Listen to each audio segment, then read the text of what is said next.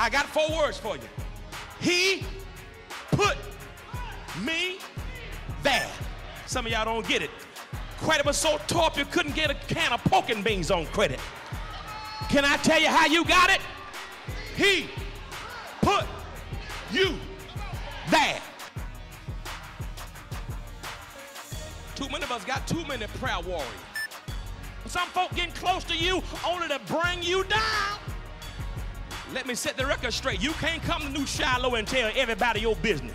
You going through some problems in your marriage and your girlfriend giving you all types of bad advice and she ain't never been married. Your girlfriend telling you, child, if I were you, I wouldn't take all that. You should have been left them years ago. You can do bad by yourself, girl, and you mess around and leave your home based on what your girlfriend told you who ain't never been married and you leave your house and go back three weeks later, she in your house wearing your bathrobe.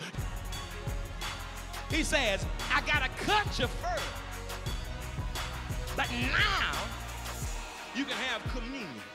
You cannot really appreciate communion until you've been cut.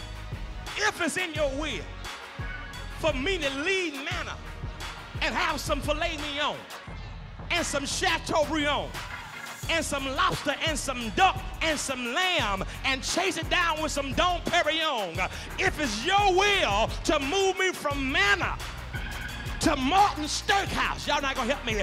If it's your will for me to leave flakes and have some Ruth's Chris, then anyway you bless me. Is there anybody who say I want more from God?